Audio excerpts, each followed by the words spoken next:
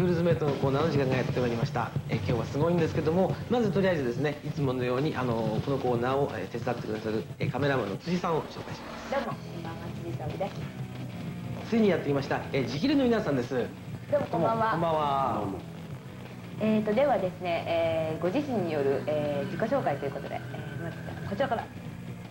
ちょっと全身が今日は痛いえーボーカルのタスクです。はい。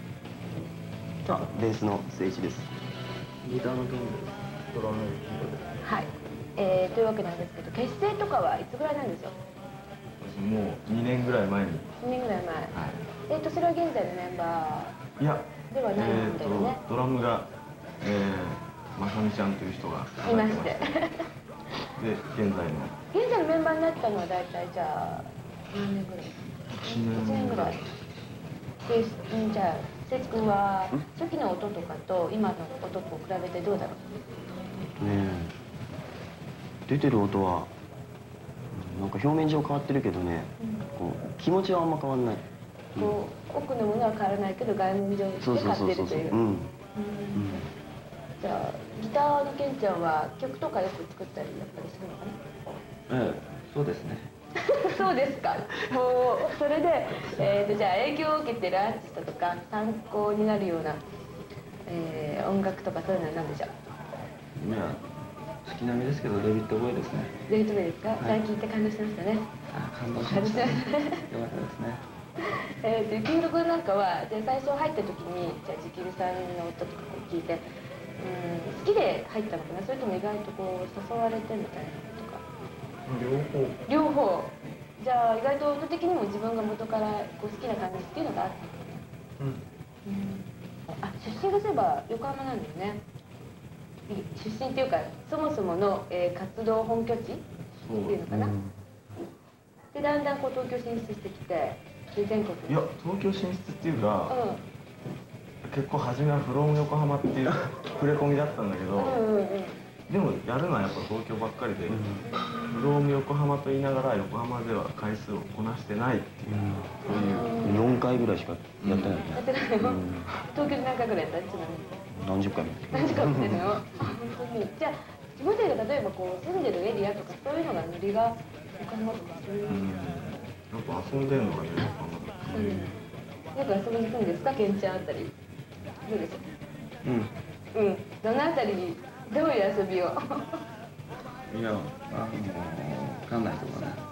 映画見に行ったりとかね。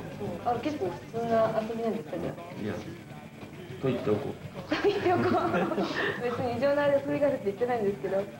なんか特に、えー、と最近雪がもってるか、えー、と 最近特に怖いお姉さんそういやいいんですけどで先生だもんね一応そう彼はあだ名が先生という。かそれで、えー、と最近こう 音的に影響を受けたとかそういうのあるか最近なないが問わず。